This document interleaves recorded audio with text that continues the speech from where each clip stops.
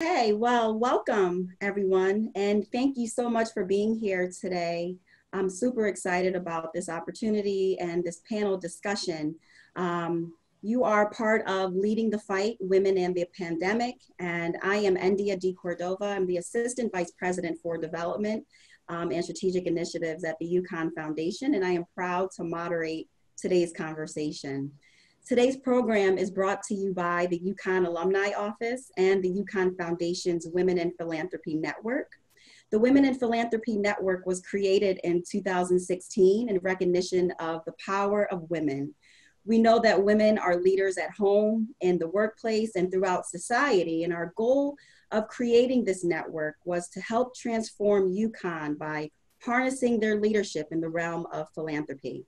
So we are excited that we have this panel of rock star women who I'm going to have them introduce themselves in a moment. But this panel, just to give you some background, will last about an hour and will include some time for Q&A. Throughout the conversation, please feel free to submit questions because we really want you to be part of the conversation. And I'll do my best to address as many questions on our end. Hopefully, as the conversation uh, goes on, you'll hear some of your questions um, answered as well.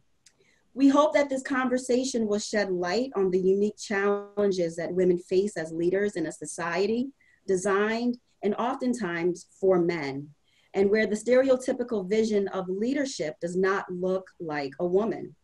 Many women have convinced themselves that we do not belong in the rooms that we're in. Um, and we oftentimes believe that our voices do not matter. We all understand that leadership is hard and convincing others, and oftentimes, sometimes ourselves, that we possess the answers and are capable of affecting real change requires confidence, insight, and guts. And these ladies, they have all of that. They are confident.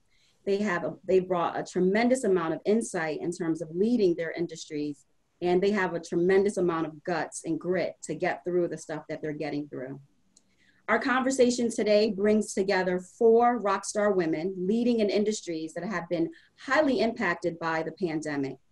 And we want to highlight this conversation is multidimensional as we refer to the pandemic. So the pandemic is not just about COVID-19, the COVID-19 virus, although it really is the, the, the, core of where we started here.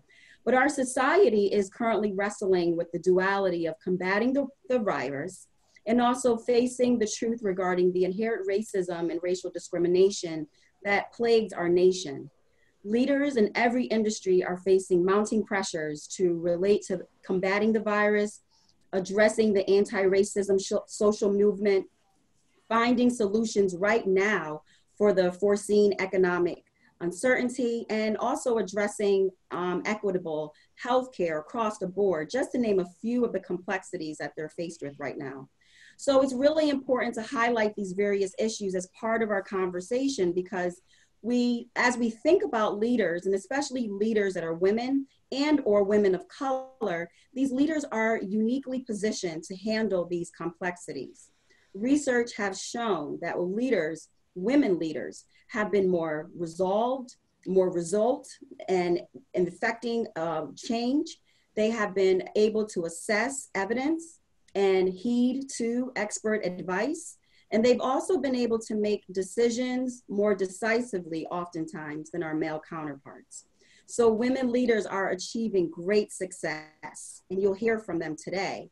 But we also know that there's still a lot of work to be done to transform our organizations and society so that it could reflect more women leaders across the board. So, let's jump into the conversation. So I'd like to introduce you to our panelists. I'm gonna ask each of them to introduce themselves and provide a little brief snapshot on what you currently do, how your industry has been impacted by the pandemic and the anti-racism social movement, and any um, opening thoughts that you would like to share with our audience today. So let's start with Lori. Lori, I know you've been leading HR efforts at Otis since the start of, of the pandemic. Um, and because Otis has a manufacturing lo location in Wuhan, please share with us how are you doing, a little bit about what you do, and how are you facing um, and addressing the pandemic at this time? Sure, absolutely. And thank you. And I mean, I just want to start by saying thanks for the opportunity um, to talk with you all today and to be part of a group of such distinguished uh, women that are on the panel joining me. I'm, I'm humbled uh, by the, the other women uh, leaders that are, that are on the panel. Um, in terms of Otis, we're, we're uh, a gl truly global company. We have 69,000 employees.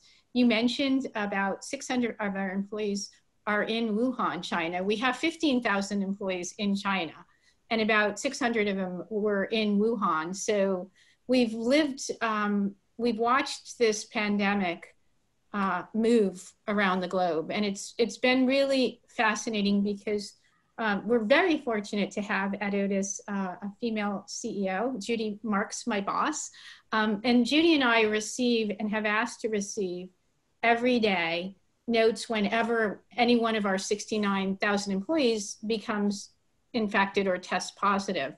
And it's, um, I could not watch the news for a month and know exactly what's going on because we're, we see employees test positive in the places where, um, wh where the, the, the, virus is spreading quickly. Um, for us in China, um, things really hit hard right around Chinese New Year. Um, so we had some very early, very difficult decisions to make because we had a lot of the leadership team um, takes time outside of China um, for the Chinese New Year break. So we had a whole bunch of our expatriates from the US that had traveled either home to their countries or to vacation spots. And while they were, uh, while they were out of the China, the US government issued an advisory for US citizens not to travel into China. So we had to decide how to, you know, we had executives and their families, you know, that we needed to decide what do we do. And interestingly, all of the executives really wanted to go back and be with their teams. They felt and passionately that they did not want to leave the, their teams in China and be absent. So the vast majority chose to go back to China and have their families uh, come back home. And, um, you know, that was one of the first crisis points. We've seen it really, um, you know, move around the world. Obviously, some terribly challenging times with Spain and Italy. Um, right now, India and obviously the, the US is a real concern because we're seeing um, a, a good deal of the states, and we certainly see with our employees, you know, the activity creeping up again. Um, so it's been a challenge. It's been, uh, we spun, we were owned uh, by United Technologies. We were part of a much larger entity. And our spin day, we became independent. We started trading as a publicly traded company on April 3rd. So UTC had done this, all kinds of contingency planning around readiness for the spin, but and and UTC is really great at contingency planning, but they never considered a global pandemic and how that you know we would try to be ready. So our first several board meetings we've done by telephone as opposed to in person. We've done earnings calls. We've you know we we we've had different classes of employees because we have mechanics in Wuhan that were maintaining the elevators in the hospitals that were treating the sickest patients and they needed to be there. And so we've got different types of employees that have different abilities to um, work remotely and, and it's challenged our thinking. And, you know, we've learned a lot from it and we certainly learned a lot from China and the China team, you know, when, when things started to spread into Europe and the Americas, the China team hosted a number of calls saying, here's the things that really matter to our people, to keeping people well. You know, one of the things I'm really proud of is we have very, very few cases where our employees are infecting each other. We have a great process in place of tracking and keeping, um, keeping our employees as safe as we can. So um, I've been at UTC for a good portion of my career. I actually started out as a lawyer straight out of law school. I am a double dog husky, as I call it, UConn undergrad, uh, business business undergrad focus, and I graduated from the law school in 1994.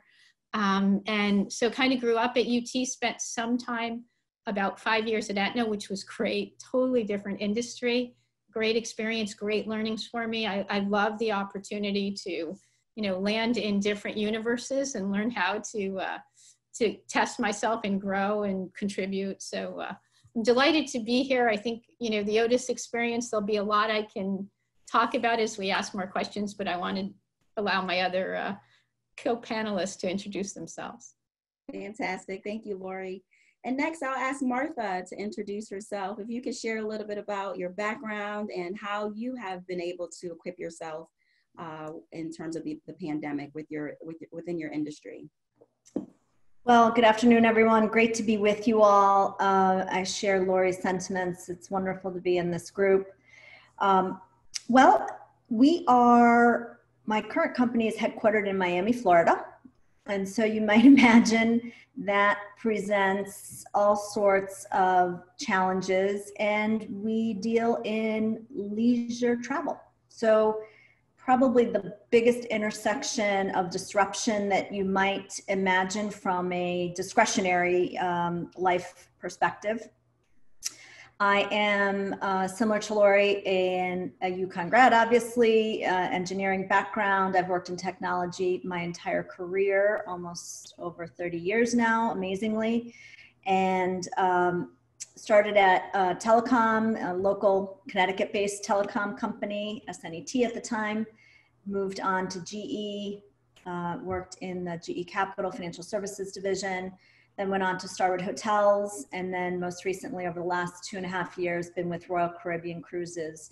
We own four brands. We have, a, like Lori was saying, a very global workforce, uh, very global product we had the recent highlights that we can get into, India, as, as we get into the conversation of um, zero revenue, essentially, because we've stopped operations as of mid March.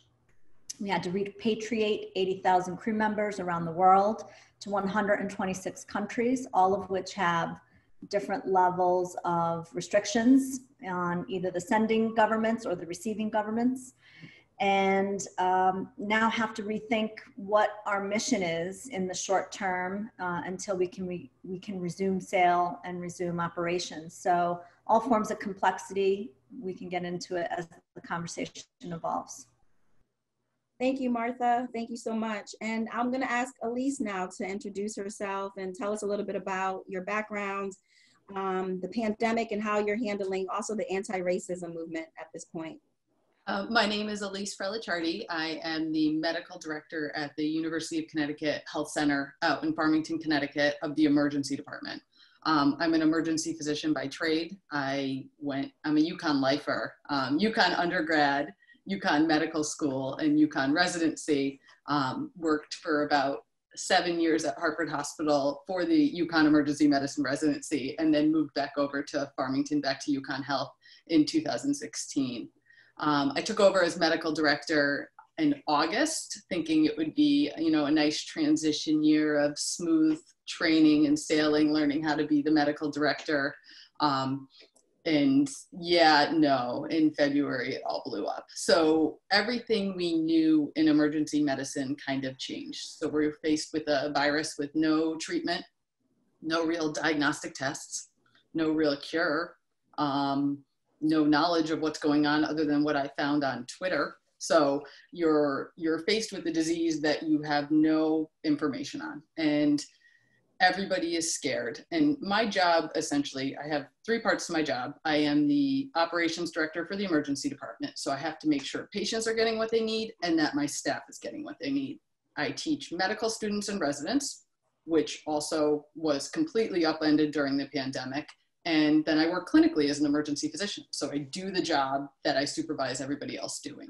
So it's kind of a three part deal, and every single part was impacted in ways we couldn't even imagine. So patients are sick and stressed and dying, and we are making decisions about them that we should never have to make.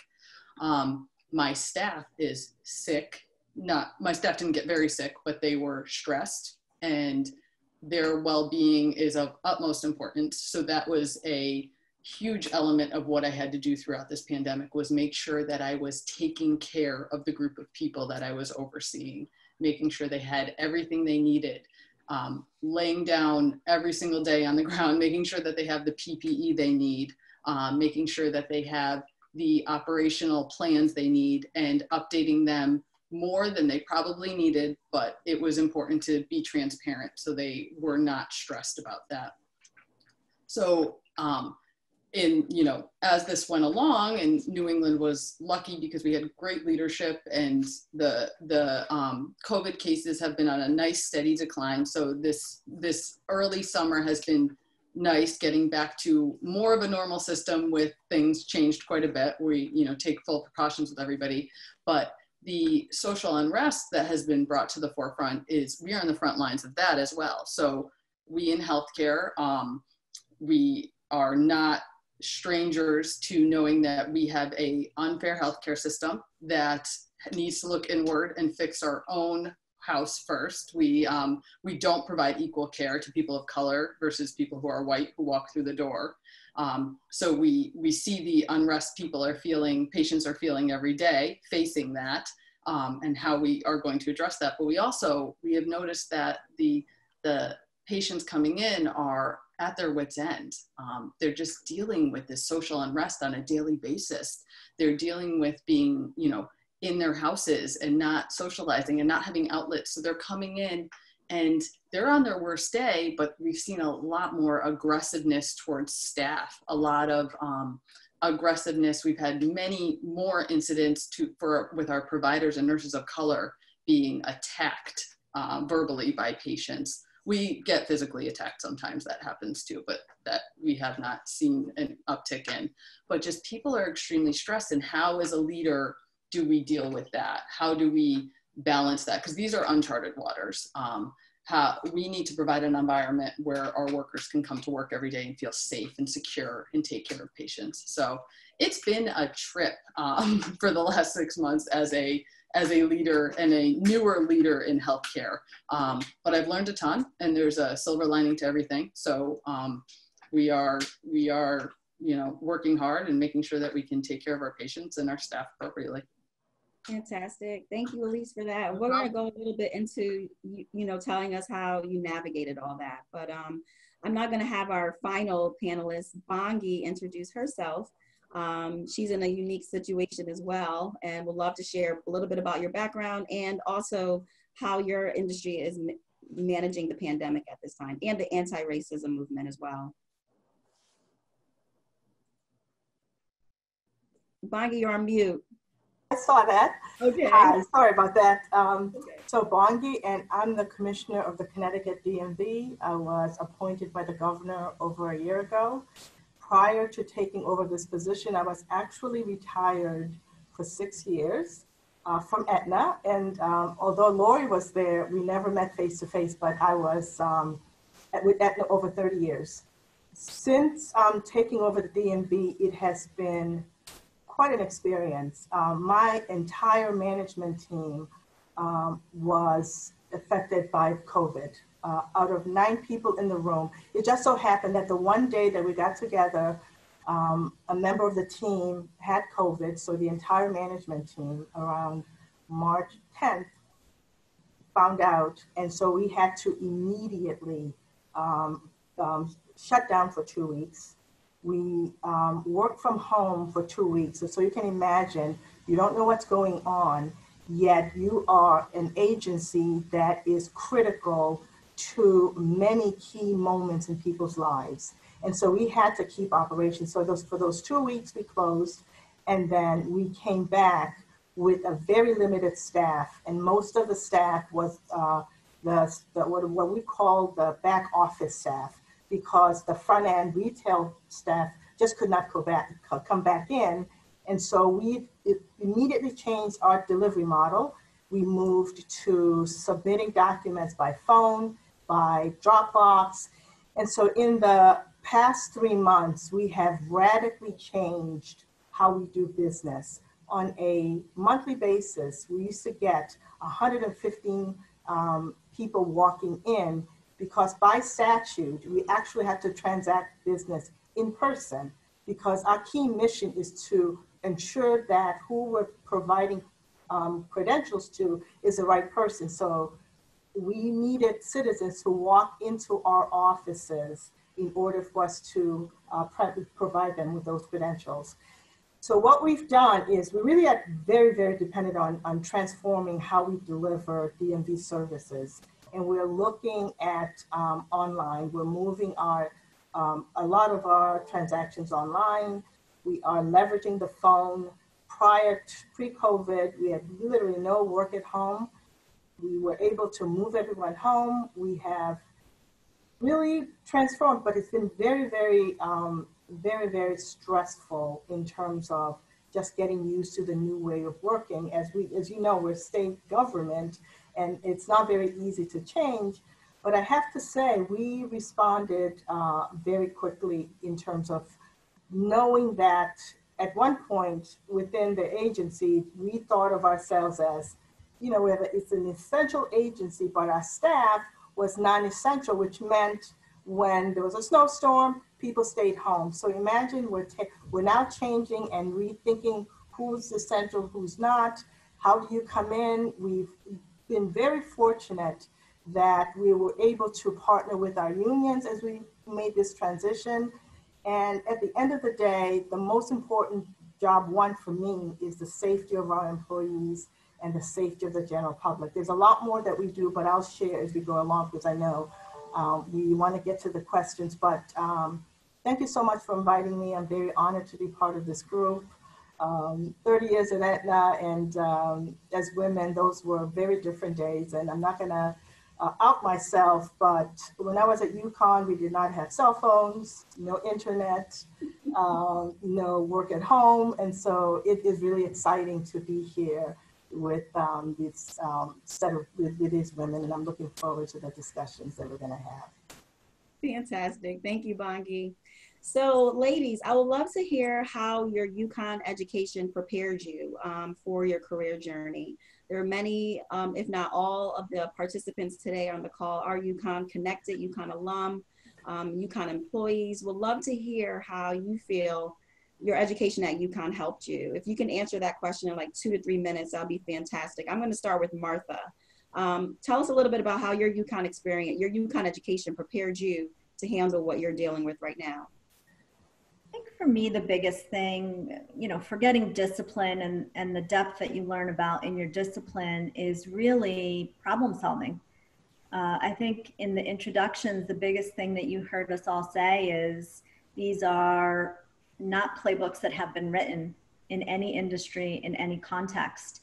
And being able to problem solve and attack break down problems logically thematically learn to make mistakes, learn to pivot from your mistakes are an immense part of an education that, again, outside of discipline, because we all have different disciplines, um, I think are incredibly valuable and is something that lives with you in a lot in a lifetime.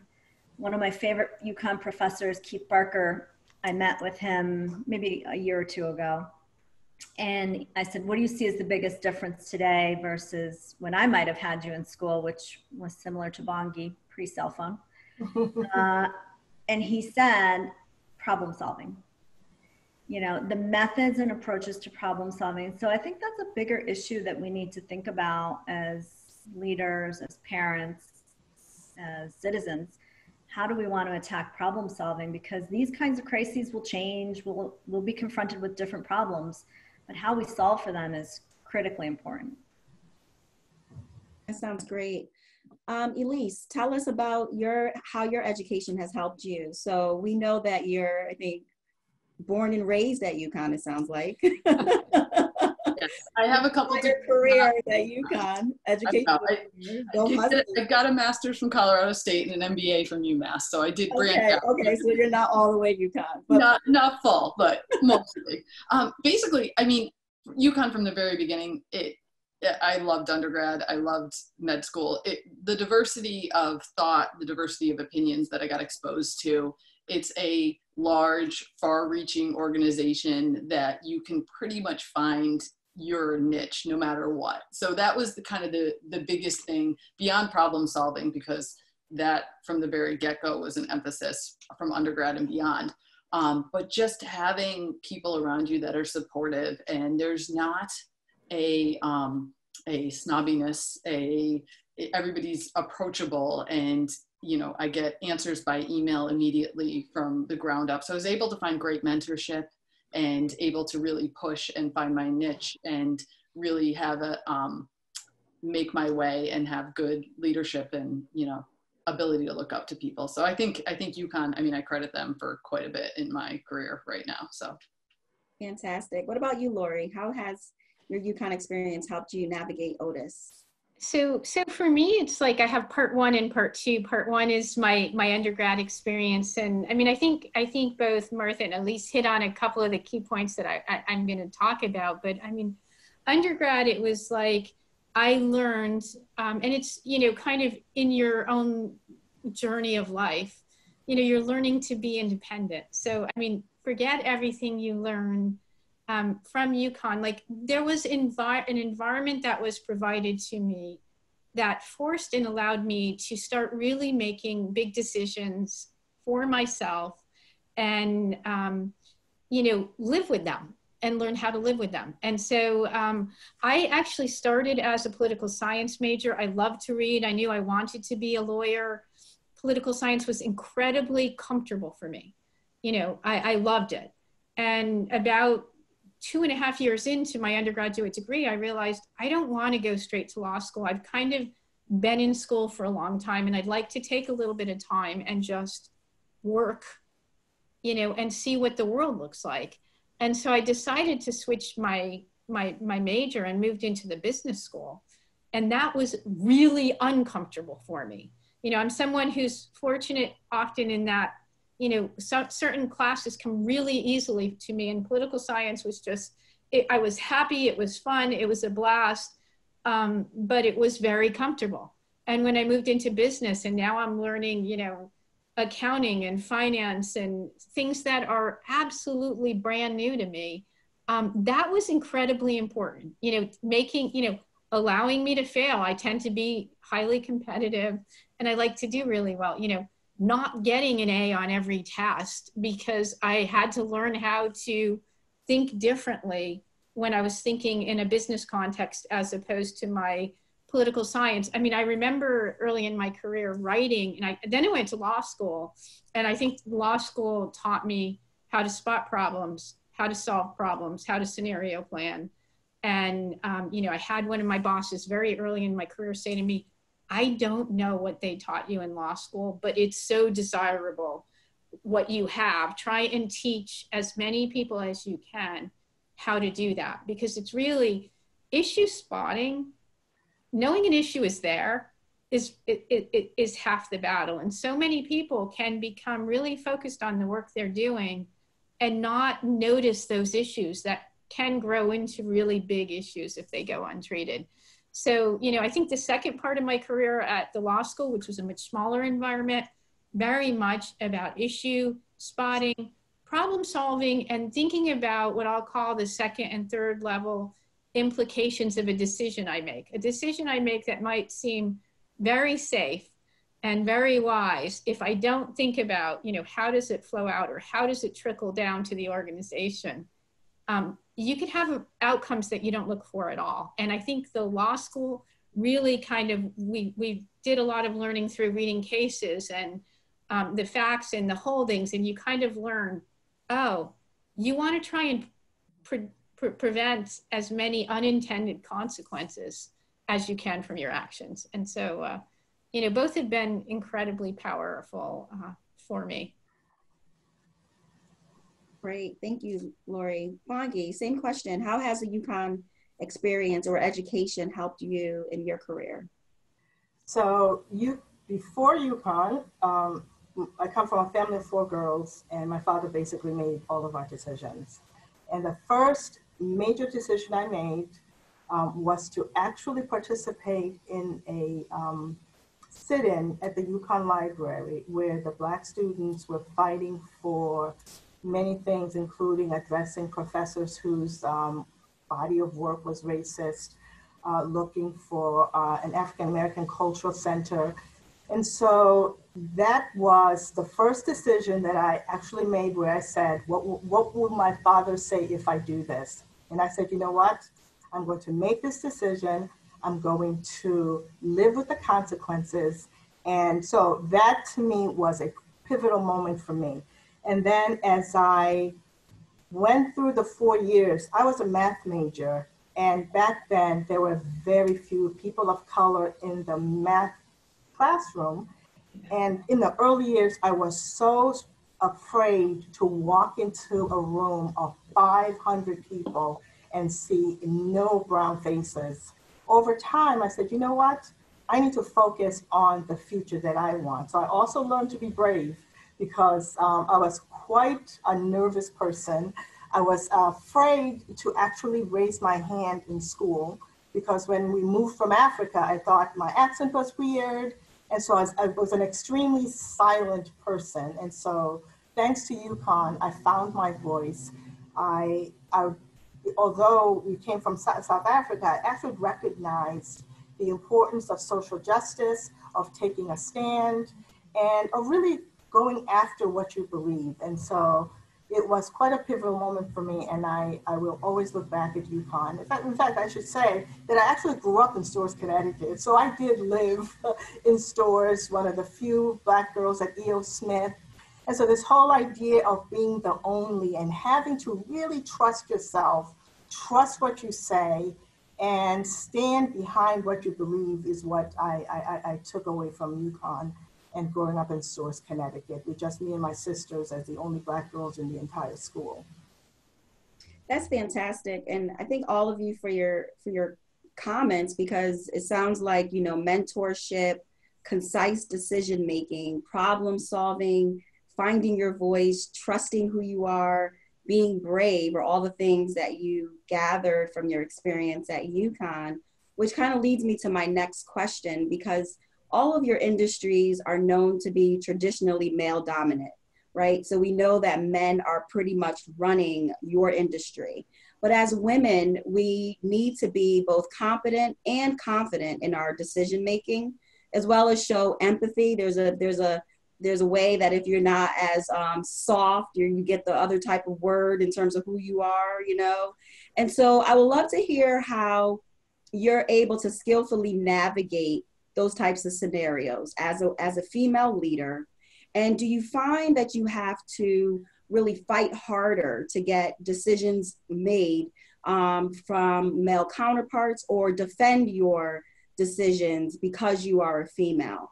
So, all the things you've learned, how are you navigating that in these male dominated industries? How do you stand confident in your voice and continue to move forward um, I'll start with Lori and then I'll go to Elise, Martha, and Bongi. And if you could each answer that question in one or two minutes, that'll be fantastic. So, so, so thanks, thanks. Um, I think, you know, for me, I grew up um, at a big corporation um, in a world that was most of the leadership teams I would interact with were almost entirely male. Um, very early in my career, I was put in the job of running benefits for the corporation.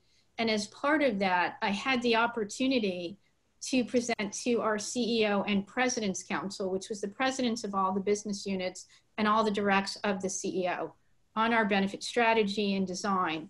And I did that quite regularly. We were a self insured plan. So it was almost like running a business because our medical plan had, you know, so many participants in it. And so our leadership team was really uh, very interested in understanding what we were doing. It was at a time um, when trend, medical trend was running double digits, 15, 16%, and completely unpredictable. So it was on the radar screen. And I used to present to the President's Council. And in fact, our CFO at the time said to me, Lori, you are our most frequent visitor this year which um, you know is not something you usually want to to be. You feel like you know people say i want visibility and i say visibility is exposure and it can go good or it can go poorly. And so you know it's great but you need to be prepared and you need to tell a story that people believe in. What i found at first when i would walk into president's council and i was the only woman in the room when i did and i only walked in to present and then walked out um, i would wear a pantsuit. Um, I don't wear pantsuits, but I wore a pantsuit. And I think it was, you know, me unintentionally and without a real awareness trying to look like everyone else in the room.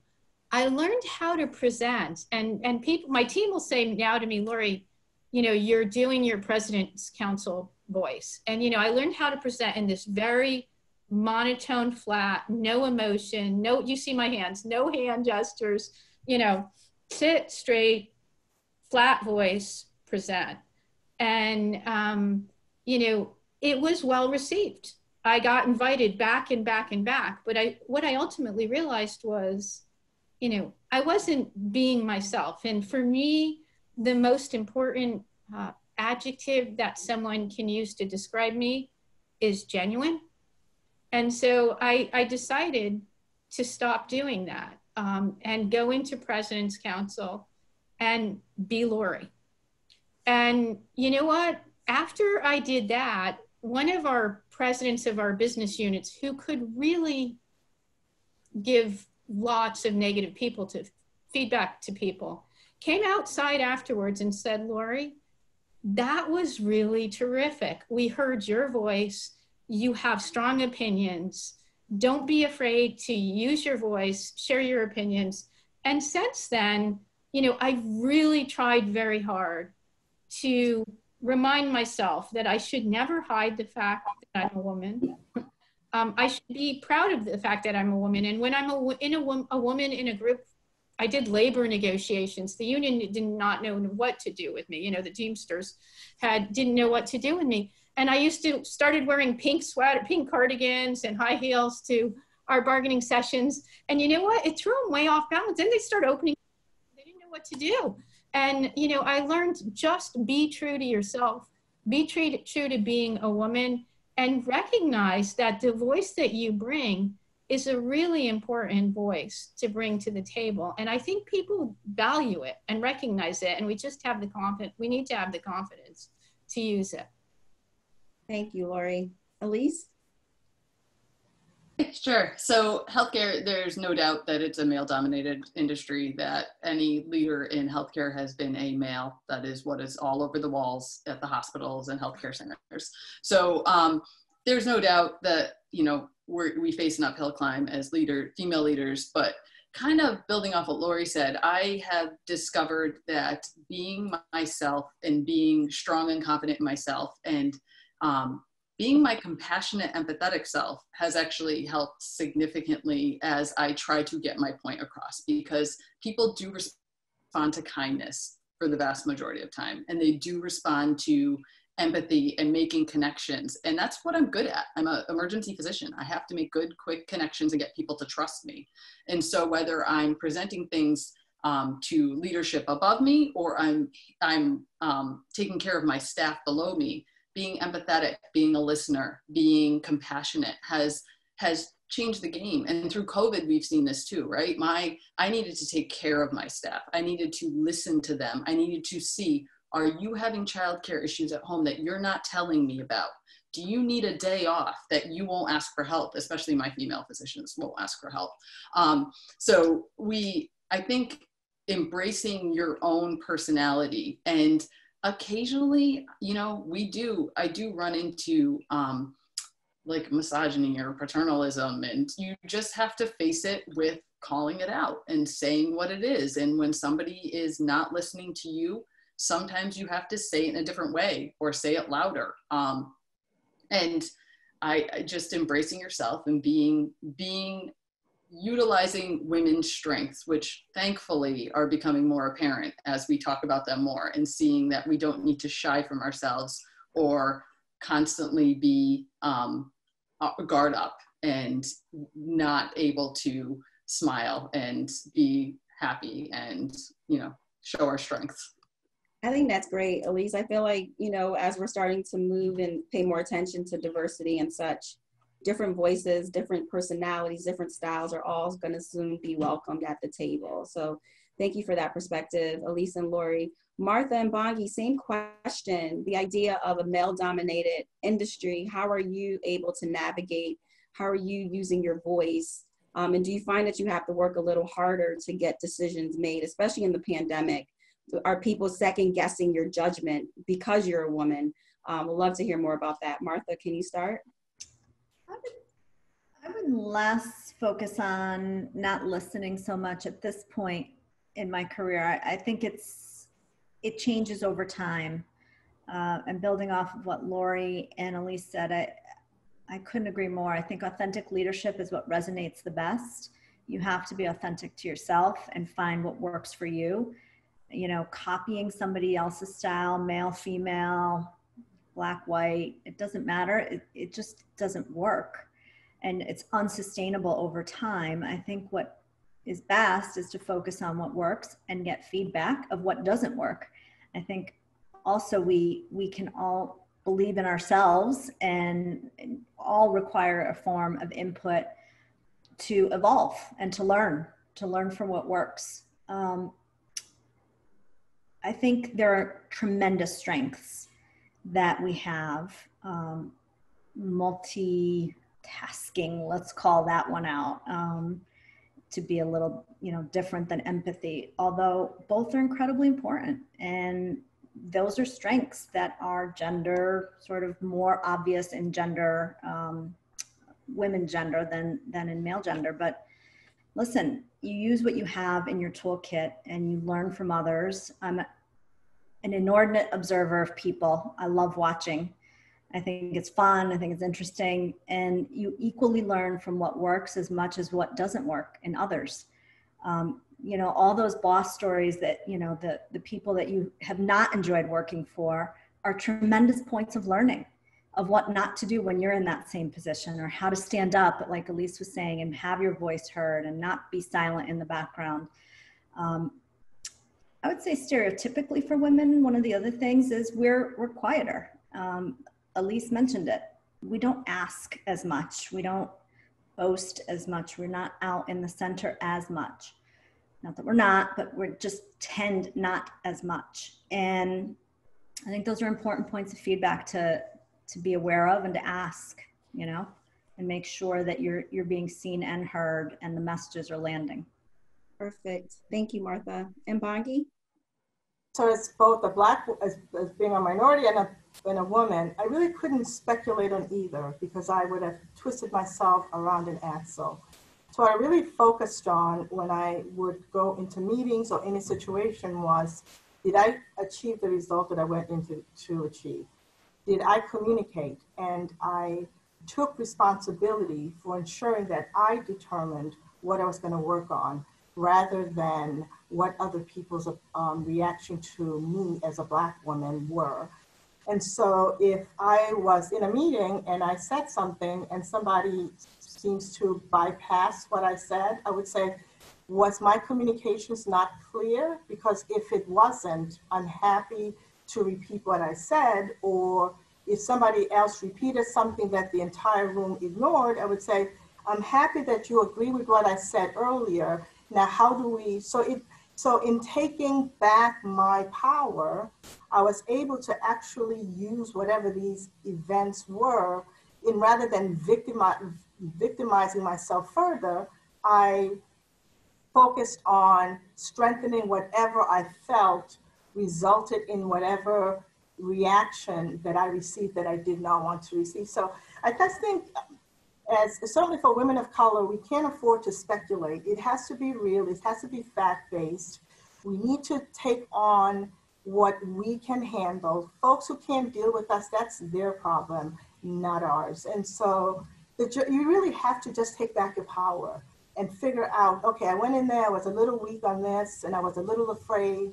Or I used my girly voice in trying to do this, or you know what, I should have been stronger and challenged and so all of these interactions are, are more of an opportunity to learn, and that's how you control your destiny in those situations. Fantastic. So I'd love for all of you to, first of all, let's take back our power. I love that, Bongi. I think that's something that we should always be thinking about, um, no matter where you sit in an organization. Take your power back, right? And so I would love for all of you to really think about the pandemic and your industry and the, the, the backdrop of the social issues that are happening, but internally, the social things that are happening with your employees. So, how are you managing the social things that are happening outside, right? So, the pandemic, the, the racial unrest, but then internally, work life balance. You have employees that are working at home, Zoom meetings, you know, eight, nine, ten hours a day how are you managing that as a leader? How are you balancing that? How are you balancing priorities? And what do you see as your your role in terms of enacting real change um, during this time? So i'm going to start with bongi and martha. So i'm going to go re- reverse the order. So we can go with bongi first. Um, i know it's a complex question and we probably have like a few more minutes before we open it up for q&a so this will be our speed round. So if you could just tell me a little bit about the social constraints behind you, the outside, what's happening outside, what's happening inside, and how are you managing that as a leader? It's a very difficult balance. And so for me, the priority continues to be the safety of the employees and the general public. And being cognizant that not everybody has similar situations that they come from. So we have to be very focused on supporting our employees as we think about they have underlying health issues, they've got children at home, they've got family members that they're taking care of. So we're balancing all of that. And what it's causing and forcing us to do is really rethink our service delivery model. The social unrest uh, is it's there, but it's we see everybody, so it's with us every day. We um, support um, public uh, with, with, people who come here as un, you know un, undocumented, and we have to give them ID. So we've always had to be cognizant of just the, the, the challenges. And so as an agency, we are looking at training, but in terms of the day to day, I don't think we've done a good job in, you know, kind of helping employees um, address and deal with those issues. But what we are doing is transforming how we work. We are thinking our, about ourselves as a retail front end where we can do better and will do better around customer service, making sure that we really understand that people come from different situations. And it forced us to really recognize the value of the credentials that we provide in enabling people to work and many other really important life events and they were starting to look at the back office as more of a Amazon-like production where we had to rethink like, do we really need to work from eight to four? Because we find that mothers are, you know, are challenged with children.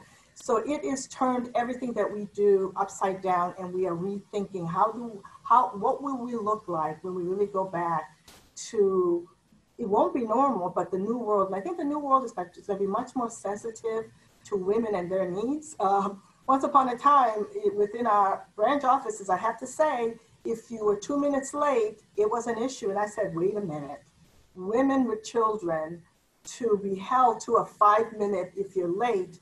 So it, like I said, it's a challenge. We are learning. We're doing the best that we can but I'm not sure that we've won the battle yet. And so we continue to learn every single day, but uh, technology is going to be really where we're going in terms of um, the future of the DMV. That's great. And, and it's kind of too soon to judge how, how good you're doing, but I, I feel super excited about the idea that in a state agency, you're able to make real change and, and have those change happen in real time. So thank you, Bongi. Martha, tell us a little bit about how you're balancing and managing the social issues outside and inside of your organization. You know, I think the biggest thing right now uh, is we've impacted so many workers and so many working lives and folks who whose livelihood has been disrupted because tourism has been disrupted. And so that's a tremendous impact to our crew who are all furloughed. It's a tremendous impact to the ecosystem that services our industry. And so I think here's you know a tremendous learning for us in in terms of empathy reaching out checking on neighbors doing the citizen of the world thing um, even though it's remote uh, we've been doing a lot more listening a lot more outreach a lot more uh, checking in on people, making sure things are okay, making sure where we might lend an ear, a shoulder, uh, or something of more substance of assistance because we need to help each other. There is no other somebody that's going to help. So um, we've tried to create more of that community. I think that's important at this time. And just showing our own humanality of it. You know, we don't have the answers. Uh, we're equally scared as leaders and confused. And we need to to rely on that again that authenticity of each other to say how do we work this out together here's our best thinking today and tomorrow it might change because we learned something new and that flexibility i think may be something that we all can take with us out of this pandemic that we have to be flexible in our work approach in our processes in things that we thought were givens that now have been disrupted Fantastic. Thank you, Martha. Elise? Yeah, I mean, I think that I addressed earlier, like staying on top of my group and making sure that they are healthy and emotionally safe and secure, I think has been the biggest thing that we probably didn't do so much of before the pandemic kind of occurred. Um, as for talking about social issues and racism and all elements of my job, I think that we are seeing a movement in healthcare where healthcare leaders recognize that it's nobody else's job to address this. This is our job every day to figure out how we can promote equity and diversity in our healthcare system. And we have to do it on the clinical side for our patients. We have to make sure that our employees are experiencing equitable workforce where they're not subject to racism. We have to make sure our medical students and residents are are getting the education they need in an environment where they're safe and they're not subject to racism on a daily basis. We need to address the structural issues of not promoting people of color, um, not having a diverse workforce. So this is nobody else's job. And I think a lot of times it gets pushed to the side as, you know, it's a little pet project that's on the side. And I have loved the last two months where we've gotten to bring it to the forefront of meetings. We have individual meetings with administrators I may not have gotten to interact with before because this is so important. And I think my goal right now is to make projects that are self sustaining. So no matter what comes to the forefront in another month or two, that we're still making this our primary effort. So I think that as a leader, that's been um, an exceptional thing to experience, and I I I want it. This is my career, right? Like I'm in the midst of it. I have this is my priority. Fantastic. I feel your energy is coming across. I'm like, yes, I want to be at that table too. That's awesome. And Lori, let us know about your situation in terms of managing the pandemic. How are you supporting work-life balance for your employees? How are you handling work-life balance and how are you managing with the, the social issues that are happening outside uh, with the with the racial unrest Sure. Let me let me start with social justice and Black Lives Matters because that's something that I'm incredibly passionate about. And what I see is a moment to rally our organization and act. And we started, and Judy, our CEO, wrote a letter to our employees um, when, when, when this first kind of came onto the, um, came onto the forefront. She wrote a letter to our employees that I was so proud of. It was, you know, it was open, it was honest, it was authentic, it was committed, it was all of those things. Our employees really loved it. But then with a week, within a week, we were like, okay, that's really nice, but what are we going to do? What are we going to do to act differently? And so I'm really excited because, well, I, I, I'm the chief people officer, right? So a lot of times people look to HR. I don't think this is, uh, to Elise's point, I don't think this is an HR issue. I think it's a leadership issue. I think it's a huge opportunity. Um, I do, I am the executive chair of our Momentum group, which is our people of color employee resource group. They have been amazing for me over the past few weeks because they have a lot of ideas. They feel comfortable and confident bringing forward ideas. We have Shelley Stewart, who's a Black member of our board of directors, who's speaking with the Momentum Leadership this week. I have a presentation to our executive leadership team tomorrow where we're signing the Judy and all of her direct reports are signing a commitment to change. And it's six things that we've committed to do. differently as a result of this. And one of them is to do an assessment of how do we stand in terms of do we have parity in pay? Do we have parity in hiring? Do we have parity in development opportunities? You know, one of them is around mental health. And are we, you know, providing mental health resources for all of us during these times where, you know, my mom who's 84 needed to get a COVID test. She needed it to be, she was having some outpatient surgery. She needed it to be um, one of those rapid tests. And so you know, I couldn't get a test. I finally got one scheduled, and then the testing center in New Haven was closed because of protests in New Haven. And I said to my 84 year old mom, Did you ever think you'd be living in a world where we can't get you your COVID test, which you would never have known about, to do your surgery because there's protesting, you know, in New Haven? There's so much going on that is impacting each and every one of us. I'm, I'm enormously passionate about mental health. I think we all need to be um, really um, careful in, in looking at our own mental health, but also of our employees. It's a lot that everyone's dealing with all at the same time in a way that I can't remember ever in my lifetime. So we're passionate on social adjustment and our commitments to change and, and committed to taking action and briefing our board in September on those actions. We've talked to our board members. They want to serve on our advisory group on it. We have we have a moment. We have the pull. And this is if, if we miss this opportunity, it will not come again. So that's that's a huge um, positive in my mind in terms of just having an ability to make meaningful change. In terms of you know just dealing with um, everybody working remotely, you know it's hard. We do have an employee assistance program We've provided we've provided remote um, you know capability for our employees to meet with mental health providers to talk with employee assistance staff who can say hey i'm trying to work and i have three kids running around the house. I feel massively stressed. I don't know what to do. You know we're trying to engage uh, our employees as much as possible to say don't feel alone. We're here to support you. And the most important thing that we've learned is you know we need to be incredibly flexible not care what time people get their work done. You know do as little in terms of meetings and phone calls that are mandatory as you can. And we found people have been incredibly productive. So another thing i'm doing um, is is presenting uh, to our board on covid um, on the 27th of july and talking about the future of work and what needs to be different as a result of this experience that we've all had. I think our employees have learned a lot, we've learned a lot, and not stepping back and saying, okay, what did we think was impossible before that we know is possible? And how do we make that available when there's not a crisis that's, that's forcing it?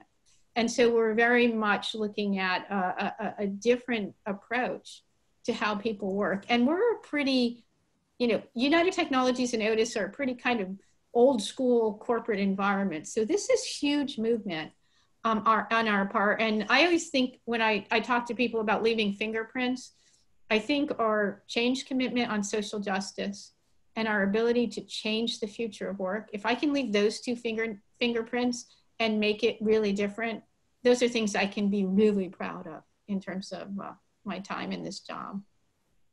That is fantastic. I mean, we are so fortunate to have all of you ladies leading our organizations, leading in this time, right? So the, the idea that there's so many things happening, so many changes happening in real time. We have phenomenal women like you running these organizations, and we can feel confident that we'll get through on the other side of this whole because you're caring, you're empathetic, you're strong, you're concise, and you're amazing rock star women. I mean, we're, we're very fortunate to have been able to spend time with you um, this afternoon. We have like two minutes. Um, I just got a cue that we could run over just a tad bit. So I'm going to ask you this is going to be our, our, our, lightning round, um, really quick questions. So we received a question um, from one of our attendees, and they're asking, as leaders, we have a great responsibility to advocate for our staff, coworkers, and support them as we lead by example. How do you balance taking care of yourself and your own families, just as you described taking care of others? What do you do for self-care? So um, if anyone could just jump in and answer that question first, that would be fantastic. What do you do for self-care? For me is working out.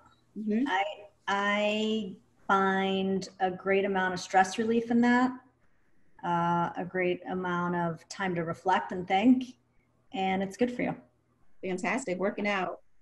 Any other? For me, for me, it's making sure I have the right balance. It's really easy to get sucked into working all the time and not spe- not step away, and especially when you're working remotely. So, like creating some boundaries where it's like this is family time, and I tell my team in the end when we're all dying, we're not going to be holding the hand of our the company we worked for we're going to be holding the hand of the, the friends and families that have been part of our lives and investing in those relationships and making sure to make a conscious decision to do that and find the time for it is really important. Fantastic. My two dogs, spending time with Leo and George. They're gonna I take have you of Bella. yourself. I have Bella. They don't care. They don't care what they want, they want, and they want it when they want it. So that's how I love Okay, another question that came through um, is all about aging gracefully. So one of our attendees want to know, can you comment on the changes that you've experienced in your leadership interactions as you've aged? So as you've gotten older in your own careers, as you've gotten older, um, more mature in your in your roles, have that changed your leadership style at all? I, I would say for me, yes. I now don't defend my decisions. I ask people to just look at the results, and that's that. There you go. Lori? Yeah, definitely. I mean, I think I, I, I feel like what I've learned is life is a journey, your career is a journey, and the longer that you have in it, the more that you learn, the better you can become in terms of having different points of view and different perspectives. So instead of worrying about being too old or you know ha, you know worrying about that, really take all that you have learned and you have brought on the journey and bring that full self to everything that you do. Um, it, it, in a way, it takes away a lot of the fear that you might have had earlier in your career about making a mistake or about, you know, getting sideways with someone. I mean, I'm always number one about being respectful, but not being afraid to drive the change that that you think is necessary. So for me, it's a blessing. Not always when I'm trying to ski with my kids or write, but in my career, it's it's really you know it, it's more experience, and that's a good thing. Great. I have to run to run another meeting, but I um I agree. I I find as I get older and I'm I'm like mid career right now, I look younger than I am. Um, I forgive myself a lot more, so I'm not as harsh on myself. I I don't. I, if I make a mistake, I mean, we'll try to fix it the next day. Uh, there's no balance. There's just life. I just have to figure out day by day how I'm gonna be the best me, and if I'm not that day, I'll try to do it the next day. I mean, you can't Yeah. you can't dwell on that, and I used to, and I don't anymore. But thank you all. I have to run. Thank you, Elise. And finally, Martha, do you have any comments on that question? I do. I mean, I think, look, there's appropriate, um, there's appropriate things at every stage. Imagine if you acted the same at two years old as at 20, as at 40, et cetera. It's not possible. It's not, it's not real. And so that's okay. I think it's appropriate at different times of your development and uh, you learn more, uh, you do better, you apply those learnings and you're different and you, you, you should be different. I mean, if I think if you're not different, you're not learning. Growing, yeah. Good. Well, we Can are really one- Can I just add Oh, one thing? Because when I was, when I was at Aetna, they asked us as part of a, a, a woman to write a letter to our younger selves. And many of you may have seen this, and I really didn't want to do it, but I, I finally did because I, I'm compliant. And I took a lot of time to think about this letter to my younger self. And I wrote it, and then I thought, you know, what am I going to do with this? I really love this letter, but what am I going to do with it? And what I did was I gave it to my children because Hmm. like here's what i learned through this career and it, it's all my best thinking about that and so i think all of us should take that opportunity to keep writing letters to our our younger self and then sharing those learnings in a way that's practical with people that we can help I love that idea. And unfortunately, we are truly out of time. Um, but I want to thank our panelists for joining us today. You all are phenomenal women, and we're so grateful for you all to be associated with UConn, but also leading the organizations that you are leading. I want to thank each attendee for tuning in today, for your participation, for your energy. Women are breaking professional barriers each and every day, and I hope that you leave this conversation feeling more positive, having a renewed sense of hope and solidarity with women in their careers.